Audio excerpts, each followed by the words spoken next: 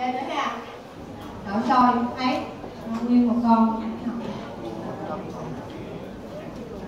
Đây nha, tắt ruột. Tắt ruột.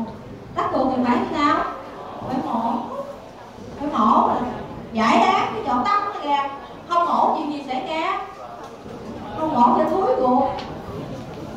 Đúng không? Tại sao thúi ruột? Là do nó chèn ép cái mạch máu này nè nó căng cái thành có độc cái máu nó không nuôi được không nuôi được thì nó sẽ thiếu máu hoại tử à, hoại tử thì nó sẽ tử vong nha tắt ruột là phải giải quyết ngay nha à, tắt ruột đây là người ta lo nha đây nữa nè đó tắt ruột cho dung rửa mấy dung khác nó sẽ không gây tắt ruột đâu mà chỉ có dung rửa thôi lý do? Lý do sao? Ừ. Có bự dung kim tắn tắn tắn tắn tắn gì nào biết? Nhiều nó đủ tắt ruột đúng không? Mà dung móc cũng vậy đó. Dương móc nhỏ, nhỏ, nhỏ, không à tóc cũng vậy đó. Mà tóc thì nó ở đại tràng chứ không ở ruột non mà ở đại tràng thì cái đại tràng của mình nó sẽ giãn ra được một tóc ít có tắt ruột nha hiếm khi lần nào tắt ruột chỉ có mỗi gì như đũa thôi đũa một con nó bằng một đũa là một chục con nó quấn lại với tiền đúng không? Đó, đó là lý do mình sẽ gặp tắt ruột trên đũa chứ không phải là những con khác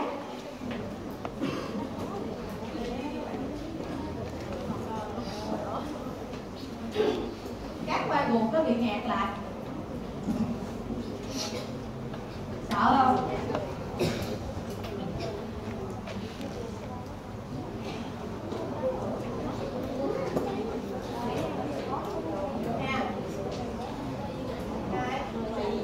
còn cái thứ hai nữa là nó có thể chui vào trong đường mật chui được không các bạn chui được vừa lắm luôn ha một con là vừa với một cái ống mật đủ á cái đường kính của ống mật đủ của chúng mình á là khoảng 11 mm là bằng với cái đường kính của con rùa luôn á nó sẽ chui vô chuồn chui qua cái lỗ này nè, nha. Chui qua cái câu hỏi tuy cọt ở đây. Rồi ha mình có thể, mình có thể tưởng tượng được. Nếu mà một cái con nó hơi nhỏ nhỏ con tọt vô đây, hoặc là một cái người nào đó mà đó chủ nó hơi giản dạng chui tọt vô được không các bạn? Được. Chui nó làm gì? Chết. Không sống nổi tại vì dịch mật. Tị không sống nổi không có dinh dưỡng nữa vô đó toàn là dịch mật dịch tị dịch mật dịch tị nó đổ ra không? Thời gian tao chịu nổi, chết. Chết là làm gì để để xác. Lúc đã mới tâm xác luôn. Chết là để lại xác nha. Cái này có người nào mà chết không để lại xác không ai để lại xác. Ít nhất để lại một năm hai ba mươi gram đúng để lại xác. Xác nó làm gì? Xác nó tạo sỏi nha. Tám mươi phần trăm sỏi ở đường mật ở Việt Nam là do sát dùng vậy sao này học bài sỏi mà chỗ ra? Ngoại khoa sẽ dạy các bạn. Đó. Do thì là mình mới mốt mà mình thấy sỏi mà đủ là mình biết là sao rồi à là do cái nào đó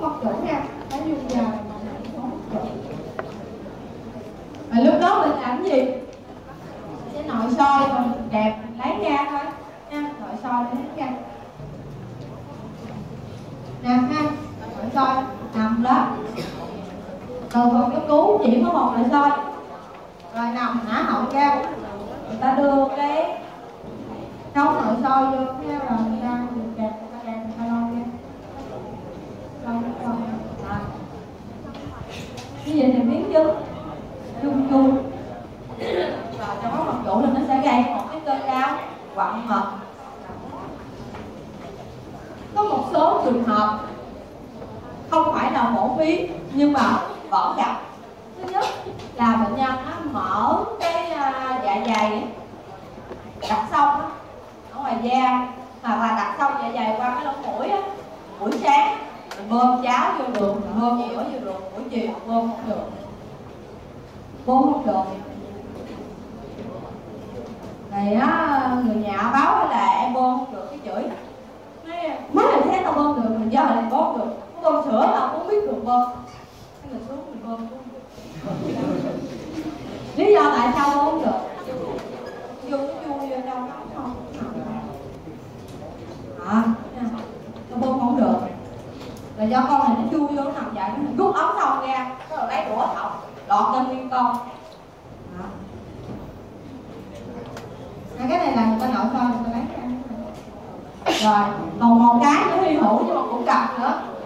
Chui vô cái ruột thừa. Ruột thừa nó nằm ở manh tràng ha. Muốn lọt cái ruột thừa là mình phải qua cái qua ngồi manh tràng lọt vô cái manh tràng rồi mình tìm cái chỗ mà ngay cái cái manh tràng đó, nó có một cái chỗ nó nói với ruột thừa nó chui được vô lọt ruột thừa người ta ở động trên là đoạn ruột non thôi. Thằng này nó sao? Đi xuống tới dưới manh tràng luôn. Đi dọc ngoài lọt cái ruột thừa luôn. Chui chổng nằm chọc à cho người ta đau ruột thừa đau mổ ra không phải sỏi không phải hột chanh không phải hột ổi chứ các bạn sao? Nguyên một cái con dung chui vào bên trong ruột cũng gặp nữa ha các bạn. Nhưng mà cái gặp cái này là giống như một trúng số vậy đó. Hiếm lắm nha. À, nhưng mà người ta gặp cái người ta trúng số người ta là người ta làm bệnh án người ta chụp hình ảnh lại người ta à, đi báo cáo người ta thấy. À, cái mình nghe ta báo cáo hay quá mình đang cắp mình xin về. Cái xin đàng hoàng ha đó cái này là cái rũa chưa vào trong tức là mỗi trường người ta đang làm. Kèm không thừa Đốt sau này đừng chậm đi đi ngoại đừng chậm đón người đi vui nha. Nó khùng tao làm từ từ lúc ra trường tới giờ mà mấy này Nam tao chưa gặp cái này hay quá mày gặp. Nó là đó em học nhớ tôi đừng có dạy. Nhớ luôn nha. Trường rất là hiếm khi xảy ra có thể là trong đời mà anh bác sĩ ngoại khoa bổ thừa không bao giờ gặp anh đã gặp lại cái số số đúng không rồi chúng ta có thể chẩn đoán dựa vào cận lâm sàng nha không thể nào dựa vào lâm sàng ốm ốm học chút xíu đi ra ngoài học chút xíu xin ra ngoài cái rồi bị nhiễm dung rủa nó quầy vô nó quanh đúng không phải dựa vào cận lâm sàng cái đó ống trùng mình sẽ tìm cái ống trùng ở trong đào nha còn cái đoạn trưởng thành mình sẽ tìm trứng ở trong con được nha không ai làm cái này hết trơn á tại vì họ chỉ hết lên từng một trong ba mất tiêu rồi người ta đâu có đến bệnh viện đâu mà coi đà không gì để tìm đó về mặt lý thuyết là có nhưng thực tế hay không nha thực tế hay không rồi mình sẽ thì tìm tìm tuyến không không hay gặp ở chi đồng nhiều hơn. Hay là hoặc là các cái trường mầm non hoặc là các cái trường tiểu học người ta tặng phốt một đường một cho các giá mới hôm trước là có ờ, cái chị học xét nghiệm ca trong tám chỉ làm cho cho trạm y tế. Chỉ đi uh, hết các các trường cấp 1 của huyện là lấy được khoảng 2 ngàn mẫu. Và trong đó chỉ có khoảng 200 mẫu thôi. Chỉ mới khoe là em chỉ 2 ngàn mẫu là của các cái trường tiểu học ở huyện em làm hết. Mà em chỉ thấy khoảng 200 đứa là nó bị nhiễm dung nó nó gì là cũng mừng mà 200 trên 2 ngàn thì là nhiêu phần trăm. Chỉ là 10 phần trăm người ta sẽ tìm trong cộng đồng như vậy đó. Mà mấy đứa nhỏ người ta sẽ soi, thấy gì người ta sẽ thường là thấy thì soi thì sẽ thấy rủi tóc mất ba gọi đó đi hay học với các bạn học một bài vậy thôi các bạn. Dành cho những cái bài sau. Mình có thể sử dụng thuốc tẩy dung nè. Tẩy dung nha thì tẩy những con nào ở trong buồn đó nha. Con ở trong não là mua. Nha. Mình có thể dùng liều à, khuẩn dao benadryl hay benazol bị trường ở ngoài phòng khám mình hay gặp đó là nixen nixen còn cái benazol thì bị trường này nó đã không luôn hành liều là 50 mg trên một ký, mà uống hai ngày thôi sáng thôi. Mà sáng chiều cũng được. Sáng chiều thì sẽ chia ra một lần 25 tuần. Và uống một liều một buổi sáng 50 vẫn được. 50 mg ký. Cái thứ nhất cái thứ hai là cái cobantin cobantin này mình dùng liều duy nhất. 10 mg trên ký bây giờ cái cobantin hết rồi, cái vitamin tóc ra những cái khô vẫn có nha hoặc là sao mình dùng kê đơn vẫn được nha đi lại vitamin tóc. Liều là 10 nha và nhớ tẩy dung là buổi sáng hết nha các bạn. Buổi sáng thì nó sẽ tốt nhất. Bổ bụng đói. Rồi cái loại mà hay phổ biến bạn nào cũng biết hết đó, đó là cái levenazole bị dùng là fukaka thì nó có hai liều. Là liều 100 và liều 500 à, liều 500 là liều duy nhất đó cái hộp thuốc có số 1 liều duy nhất. Còn liều 100 á thì mình phải uống à, giải ra uống 3 ngày. Sáng chiều sáng chiều sáng chiều. Uống lúc đói.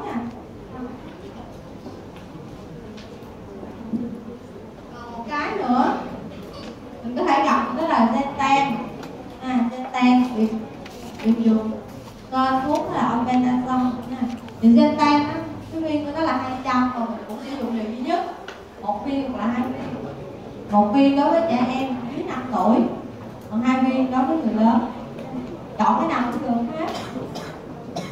Nhưng mà cái kỹ thuật đó kỹ thuật là gì nè?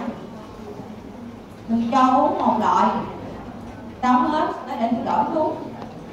Đóng hết nó để đổi thuốc. Đổi năm lần đóng hết cái thuốc khác. Bây giờ hết luôn rồi được không? Bạn hiểu không? Là cái nào cũng xài được hết á. Nhưng mà do người ta nhiễm nhiều người phải thay đổi liên tục. Đổi liên tục.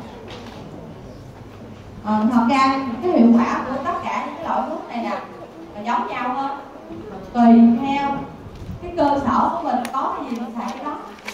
Ha. Có Fugaka cho uống Fugaka có Temten cho uống tem ha. À, có ra Diabetazone thì mình trốn chốn Diabetazone rồi mắc kẻ khác nhau ha. người nào mà già có tiền mình cho uống Diabetazone tại vì tiền của nó tới năm mấy ngàn. Còn người nào không có tiền trốn uống Fugaka nó hai mấy ba thì những cái thuốc này chỉ có tẩy dung thôi tẩy dung thôi chứ không có gì không có gì sáng rồi ha. Ok ha ok rồi dự phòng. Dự phòng thì mình sẽ có. À, các dự phòng đó là không một hai ba. Cấp không là mình sẽ giáo dục về ý thức về con người. Còn cấp 1 là các bạn sẽ gì? Sẽ dự phòng. Không có cho cơ hội để nguồn bệnh xâm nhập vào trong cơ thể của mình. Đó là dự phòng. Dự phòng cấp 1 là không cho nguồn bệnh có cơ hội xâm nhập vào trong cơ thể bằng cách đề phòng ăn chín uống sôi uống sôi rửa rau thì nên là gì? Rửa với nồi nước chảy. Nha rửa rồi chảy để nó trôi hết những cái trứng, chín ở trên cái lá rau. Một số anh chị nó dần ngâm nước muối. Nó ngâm nước muối thì cũng được, mà tôi chỉ cho cái cách rửa bằng nước muối cho nào giờ tôi thấy rửa sai hết trơn này là mình bỏ heo vô trong thau bỏ nước muối vô không? Nó để làm gì các bạn? Sát trùng cái gì? Sát trùng một cách là cho cái trứng nó nổi ngập trong nước muối là gian sẽ nổi nổi nằm ở trên mình mình lúc đó mình làm cái gì? Mình sẽ nghiêng nhẹ cái thau nước mình đổ. Nha, mình nghiêng nhẹ thau nước mình đổ. Còn nếu mà không thì thôi, ngâm thường thôi. Thì ăn thường cái muối nó sẽ lắng xuống. Muối nó sẽ nổi lên. Cho cái tiền chậm mình ngâm nước muối cho nó nổi lên. Xong mình dớ gào cái mình hớt đem vô ăn lúc đó là sao là sao quy trình đúng không? Cái đó hồi có nhớ phải là rửa như rồi chảy hoặc là ngâm thì ngâm nước thường thôi. Còn mình sang chắc ngâm với muối, kỹ lắm, ngâm với muối. Rửa kỹ lắm vớt lên, hết luôn, không còn cái nào bỏ lại. Đó. Rồi đó giờ không biết là mình làm sai quy trình, đúng không? Rồi đó chỉ gặp nhau bây giờ đi chỉ ngâm rồi. thôi nhiều nhiều nước. Đừng ngâm ớt ngâm nhiều nhiều nước ngâm trong nước nhiều nhiều, nó sẽ sao? Nó sẽ lắng theo trọng lực. Nó gớt rồi mình cái gao mình vớt lên. Còn không thôi thì sẽ để dưới dần nước chảy nó sẽ trôi theo dòng nước. Thì cái gao của mình sẽ sạch. Còn ai sang chảnh ngâm đến nước muối vớt hết luôn. Nha. Để giữ phòng cấp 1 để làm nó đúng nha. Ăn trứng uống sôi rửa gao hoặc là dọc. Còn dự phòng cấp 2 thật nó nói dự phòng cấp 2 đó là điều trị cho những người mà có triệu chứng. Nha mình tư vấn để xét nghiệm điều trị. Còn trường hợp cấp 3 là điều trị biến chứng. Cái đó bệnh nào mà có biến chứng thì sẽ có trường hợp cấp 3 bệnh nào không có biến chứng thì sẽ không có trường hợp cấp 3 biến chứng của mình á à, do dung đổi có hai cái các bạn một là bị tắc ruột và hai là dung chua vào đường mật rồi. Các bạn qua bài tiếp theo đó là gì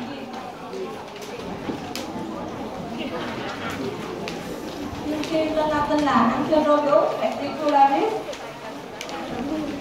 Nãy mình đổ hay là mình cầm cái chiếc đũa lên mình giờ mình mô tả bây giờ dung kim mình cầm cái kim lên. Được không? Nó cũng nhỏ xíu như vậy đó. Nhỏ như cái kim học dây ngắn hơn cái kim các bạn. Nó chỉ có khoảng chừng một cm thôi. Có nhiều cái thôi. À. Nó cũng có dạng trưởng thành và dạng chân nha. Dạng trưởng thành nó cũng màu trắng đục miệng cũng có ba môi. Nha. Và đối với dung kim á thì ruột nó không có thẳng nó ở thực quản hơi phình lên. Gọi là thực quản bụng phần. còn về kích thước thì nó siêu nhỏ. Nha.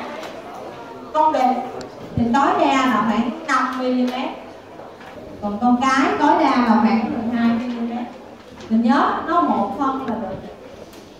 Nha, mình nhớ dung kim là khoảng một phân thôi. Một phân. Rồi, con được. Thì đuôi nó sẽ cuốn cong lại. Có hai cây giống hợp còn con cái thì đuôi sẽ nhọn nha. Và bên trong cái tử cung của dung kim nó có chứa trứng các bạn lên các bạn các bạn xa từ đầu từ đến đích mình cái phần đoạn và giữa đoạn giữa phía sau là nó sẽ có trứng tròn tròn tròn tròn tròn ở trong để cung cái chứa đầy trứng ở bên trong còn trứng của đường kim á thì nó là trứng mà đã có thôi đã có đặt ba nằm ở bên trong rồi cái đó vừa mới ra đời thì nó đâu có kinh nghiệm chứ nó không giống như dung đũa là từ một cái trứng tươi thì sao nó mới phát triển lên thành một lộ trứng đúng không? Còn kim là trứng mới vừa ra đời là nó đã có lạc ra rồi. Thì nó tín nhiệm của dung kim nó sẽ sao cao hơn rất là nhiều so với những con khác. Cao hơn rất là nhiều rồi, nó có hai đứa vỏ các bạn và mình sẽ thấy đây người ta vẽ người ta vẽ à, cái nè nha đây là cái miệng đây là môi ha cái mép năm trụ hai bên rồi cái bảng câu với cái phi thực quản bụng bình rồi ruột thẳng ha nó xuống tới hậu môn rồi bên đây ruột trứng ha cái phần giữa thôi đó là tử cung thì bên trong tử cung cũng có dung cái nó sẽ chứa đầy trứng ở bên trong nè còn con dung được mình thấy sao nó nhỏ hơn con dung cái hơi nhiều đúng không và đuôi nó nó cong lại và nó có cái gai nhau hợp ở dung chuyên là cái thực quản của mình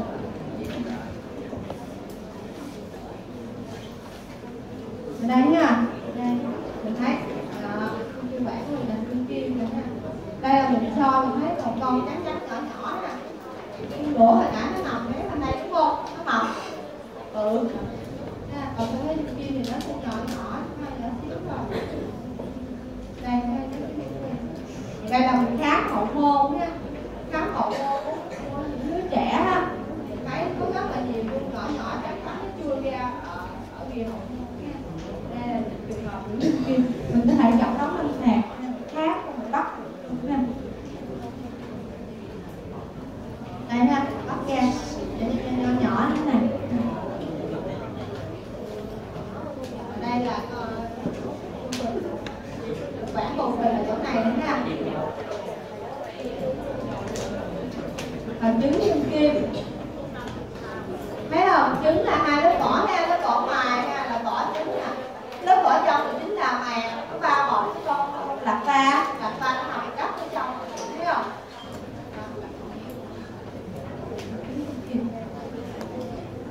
mình chết con lép một được có thể mình cái này nó non cái này nó lép đỏ này các bạn còn vài cái thì nó lép rất là đỏ thì nó lép một cực này bên đây nó lép đúng không bên đây nó lép nè trứng nó lép một cực như vậy Rồi thấy không? Các đi vào cái chương trình phát triển. Đối với nhân viên thì nó sẽ đơn giản hơn rất là nhiều bởi vì nó không có giai đoạn dung dung. Cái con mẹ đã đã dung dưỡng cho cái con nhân viên rất là tốt. Trứng ở trong tử cung là nó đã phát triển gần như hoàn thiện rồi. Sanh ra thì nó đã có gì ở bên trong rồi, nó đã có lạc phá bên trong rồi. Và, chứ, và cái lạc phá nó rất là hoàn thiện nó không cần phải dung dung để nó lột xác nữa nha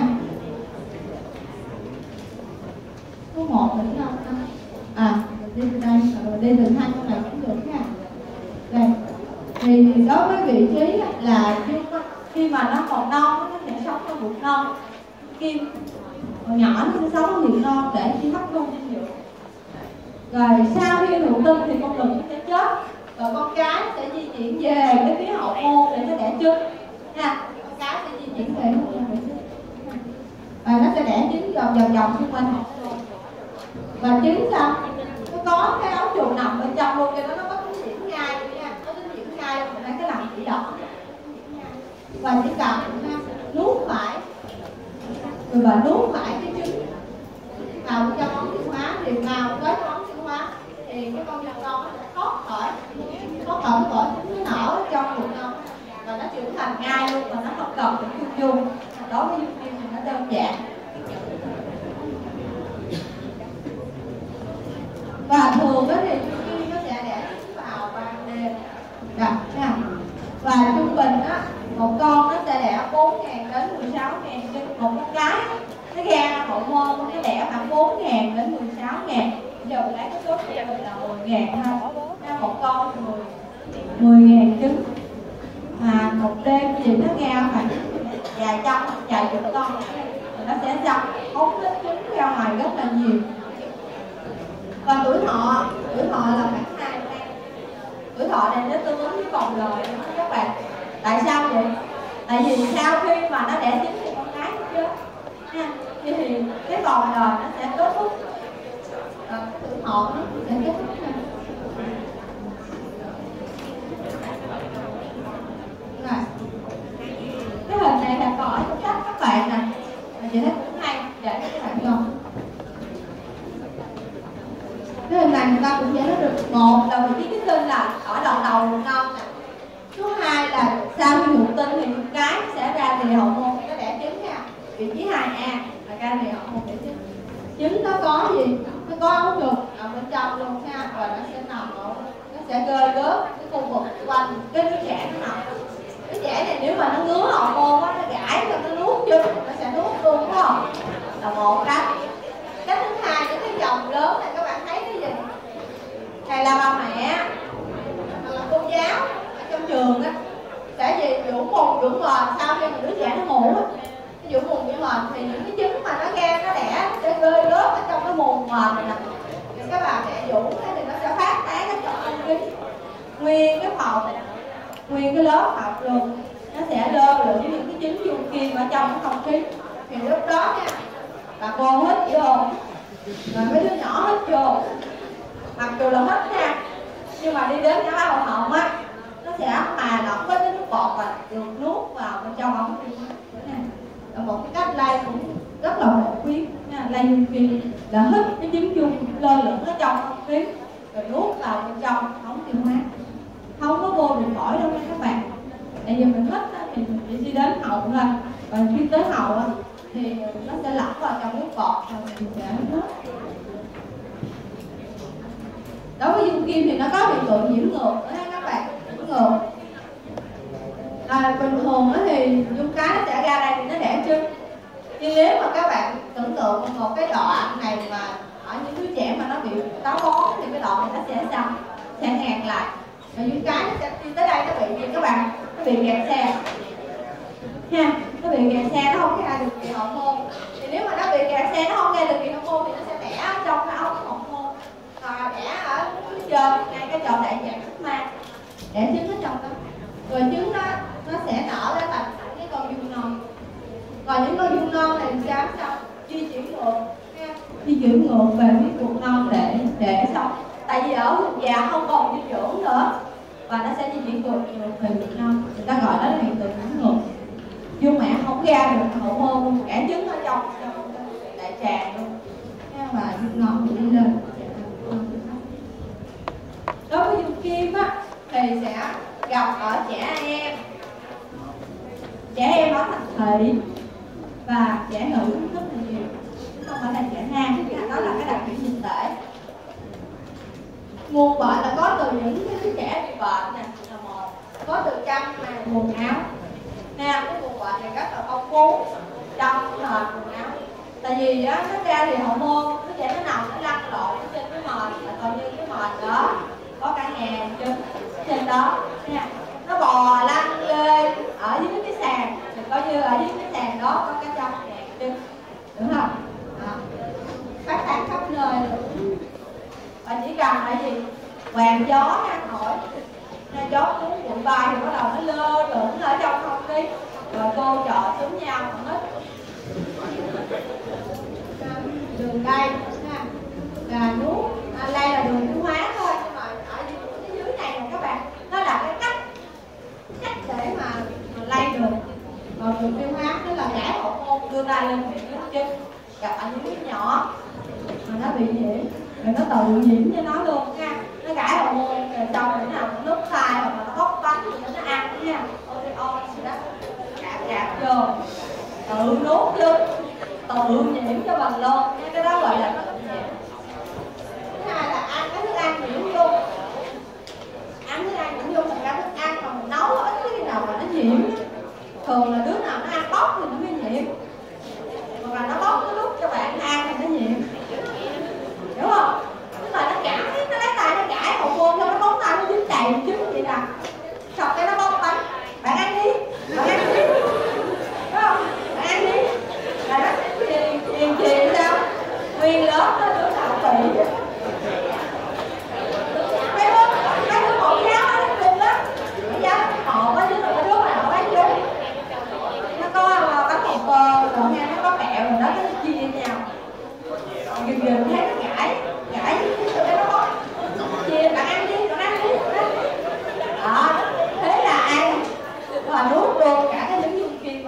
lòng ha đó. rồi hết những cái tiếng chuông á, là từ bắt đầu buổi trưa á, các bạn. Từ là đứa nào mà có đi học nó ngủ trưa, nó ngủ lại trường á. Thì cái việc thích tiếng chuông là nó trong không khí là sẽ xảy ra để cho nó ngủ quá rồi lúc mà nó ngủ thì nó sẽ rất là bị lắc mà nhân á, là nó sẽ tranh ngủ cái lúc mà bị lắc nó để nó đi ra ngoài. Lúc đó cơ vọng của mình nó sẽ giãn đây dễ đi đó. Nó đi ra ngoài thấy nó đẻ rồi nó ngủ mình lăn mình lộn nó sẽ lớn cuối cùng mà. Thế là cái chị vũ cho ảo rồi xếp lại nghe nha, cô xếp trò xếp cô nhóc trò cô nhóc trò nha. À. các cái trường cấp một và các trường mẫu giáo là hai cặp rồi. Biểu hiện của chị Dung Thiên đơn giản đơn giản lắm các bạn. Nó là gì? Ngứa hậu môn về đêm. Đòi phải giết cái mật độ mà lúc đêm mà nó ra thì hậu môn là cao nhất. Nên đó ban đêm cái trẻ nó rất là ngứa hậu môn và nó ngủ không được. Và vì ngứa hậu môn á, cái đó trẻ nó sẽ bị kích thích cảm giác kích thích thần kinh cảm giác bức rứt khó chịu khóc nào nghiến răng thì khi mà trẻ có cái chuyện khó chịu như vậy chỉ cần gì khá hậu môn khám hậu môn thì sẽ thấy khi mà ra thì hậu môn rất nhiều. Còn bình thường thì bên cạnh cái nhiều ngứa hậu môn nó còn rối loạn tiêu hóa như sáng cạnh da dinh dưỡng với cái chỗ khi nó trẻ nó sẽ bị rối loạn nó hay đau bụng. Nó hay đau bụng, nó hay khó tiêu, nó hay bị sình bụng. Là do nó bị à, rối loạn tiêu hóa không ở trong nó cạnh tranh thì nó còn làm tổn thương cái niêm mạc của cái bụng do đó mà trẻ nó sẽ hấp thu rất là kém. Nha ngứa hậu môn cái nào gãi? Đứa nào mà ngứa mà gãi thì chắc ăn. Làm sao? Có dung nguyên còn người lớn mà, mà gãi thì còn khác nữa. Người lớn mà lâu lâu đi cái gãi gãi. Gãi gãi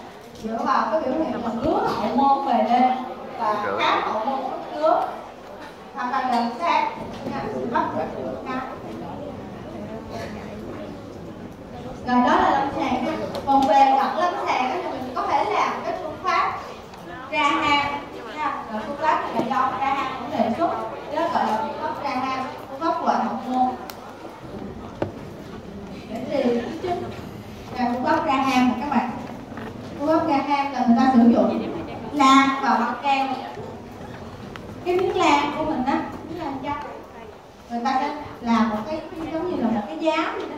Rồi cái miếng băng keo người ta sẽ dán ngược lại ở phía đầu lan để cái phần mà, mà keo á ra ở phía mặt ngoài. Thì khi mà đưa vào bên trong hậu môn nó trẻ đưa vào bên trong nè cái mình bóp nhẹ kít lên cái để làm cái gì? Cái động tác đó là để cho trứng dính vào cái keo cái miếng băng mình sẽ sau đó mình sẽ đó mình lột mình dán ngược lại cái miếng lam của mình. Dán ngược lại miếng lam. Rồi sau đó mình về mình sẽ soi, mình sẽ soi cái phần mà keo đó đó. Coi nó có dính dính không để soi mình thấy dính nè dính nè dính nè. Thấy không? Đó. Phương pháp thì gọi là phương pháp trang nha. Phương pháp này dễ cho cho cái nghiên cứu cộng đồng mình làm một cái lớp bắt đầu kêu tụi nó tụi con xếp hàng đi tụi con. Xếp hàng dạy ha. Rồi có cái bạn quần. cởi quần ra nằm chỗ mông nằm sấp cứ đứa nào cũng vậy đứng tới với cô là nằm xuống nằm dài trên các bạn đó rồi chỏng mông thì mình làm gì mình đưa cái cái miếng lao có miếng mặt càng đưa vô mình vuốt mình nhẹ. Chỗ cái đèn xong kéo quần lên thì cứ khác còn là trong vòng một buổi sáng thôi. Là mình hốt được hết nguyên cái lớp đó. Rồi mình dán mỗi ờ, cái năm cái tên hết rồi mình về mình đọc. Nên mình đọc thì mình sẽ trả lời. Cho cái cái trường đó đó ờ, à, rồi trường này là có bao nhiêu đứa tên gì tên gì nhiễm đó. Báo cho trường hay để người ta điều trị ha để cách ly nó luôn không chỗ đứa điều trị cách ly đó là cái phương pháp xe hang rất là tiện ha. Rất là tiện. Cách để ly giá tình bạn nhanh nhất. Các cái trường quốc tế người ta hay hay nhỏ này thường thì là các anh chị ở trạm y tế sẽ làm. Chị không đi làm. Trong khi chị tư vấn thôi. Mấy chị ở phường An Thắng đi làm. Thì ờ, tư vấn mình tập trước rồi trước khi họ đi đi làm thì họ alo chị đi. À, chị đi lấy mẫu xong nó đi tập tiếp cái trường vòng vòng vòng tôi lên cái hay là cái chắc dễ một buổi sáng cái hàng cái lưng lắm cái hàng dài dài mà mấy đứa nhỏ ra tại vì con còn non cũng gặp đây nè. Thái lắm. Mỗi một học kỳ là ở bên trạng y tế mình điều qua khám sức khỏe một lần cũng có sổ khám cao tự cân nặng chiều cao nó thái lắm. Hôm nào mà có bác sĩ đi khám thì nó thái nó nữa hàng rồi Là đứa nào chờ đợi được cởi quần cởi quần nằm trên bàn nhõng không cười hí hửi hí hửi không đau không đau không đau để nó sợ chứ cái đứa nào đó không đau không đau không đau nhiều lớp không đau không đau đó là mình ra đi đó rồi có tháng có học kỳ thì à, các anh chị trên trạm người ta đi người ta cân nặng Rồi người ta đo chiều cao cân nặng tính BMI ra rồi phá gì là đứng cân chậm cân gì đó các bạn hay phương pháp này để đọc các bạn muốn dùng hơn cũng được hết rồi, cái này là giống như hồi nãy rồi ha. Mình bỏ qua, mình không học nữa. Nhưng mà chị lưu ý cho các bạn là khi mà điều trị chung á, thì trẻ em dưới 2 tuổi các bạn không được uống thuốc tẩy. Trẻ dưới 2 tuổi á không được thuốc tẩy. Tại vì cái thuốc tẩy này nè, thứ nhất là nó có độc tính trên gan nha. Gan của trẻ không tốt cái thứ hai nữa là nó có thể gây điếc gây ảnh hưởng đến cái cơ quan tình hình lỗ tai đứa trẻ mà dưới hai tuổi là nó chưa có hoàn thiện về cái ờ, cơ quan tình hình lỗ tai. Do đó hạn chế không nên sử dụng nha còn hai đến năm tuổi là sẽ cho thoải mái. Cái đứa mà nó đi mầm non là nó phải ba tuổi hết trơn rồi. Ăn bốn tháng